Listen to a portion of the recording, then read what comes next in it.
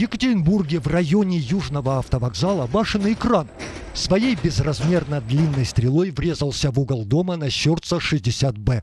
Выбил стекла и повредил лоджию угловой квартиры на последнем восьмом этаже жилой многоэтажки, построенной чуть больше года назад. Правда, очень скоро покосанный сбоку дом будет выглядеть сущим пигмеем на фоне будущих жилых высоток в пока безымянном квартале суммарной площадью в 6 гектаров.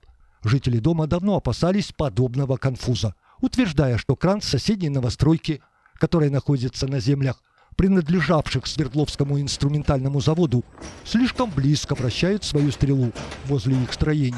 Так что рукой дотянуться можно. К счастью, правда, никто из жильцов в натуре эту близость проверять не стал. Руководитель управляющей компании «Территория Восток», которая обслуживает дом на Щерца, в комментариях порталу Е1 подтвердил, что кран и в самом деле врезался стрелой в дом и побил стекла на лоджии. Специалисты УК выезжали на место, вызвав на разговор представителей застройщика. Уже составлен акт повреждений, и застройщик согласен, сообща с коммунальщиками, компенсировать затраты на восстановление лоджии нечаянно пострадавшего дома.